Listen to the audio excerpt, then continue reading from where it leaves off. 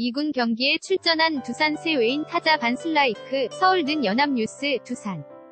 베어스 새 외국인 타자 스콧 반슬라이크가 6일 이천 두산 베어스 파크에서 열린 삼성 라이온즈와 퓨처스리그 경기에서 안타를 치고 있다. 2018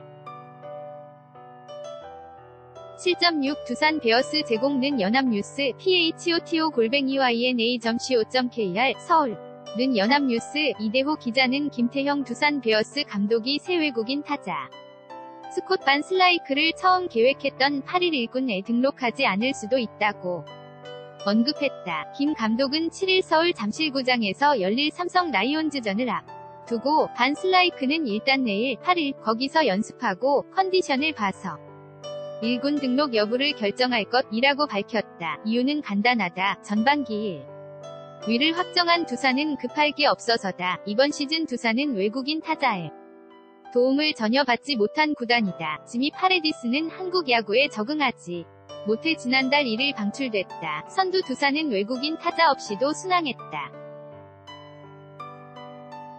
6월 18승 8패 승률 0.692로 월간 성적 1위를 질주했고 7월에도 연승을 이어가며 이제 2위와는 8게임까지 격차가 벌어졌다. 이런 상황이 라반 슬라이크에게 적응에 필요한 시간을 충분히 줄 수 있는 여유가 있다.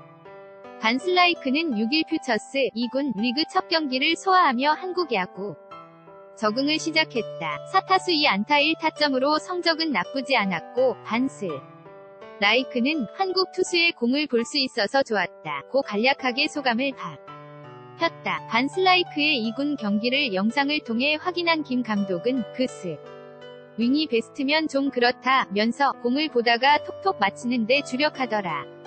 고 날카로운 분석을 내놨다. 두산은 삼성과 3연전 이후 다음 주 KTW 2주와 3연전을 끝으로 전반기를 마감한다. 김 감독이 반슬라이크의 본격 적인 활약을 기대하는 건 후반기부터다. 사비유엔 골뱅 EYN A.co.kr 201 7년 8월 7일 17시 15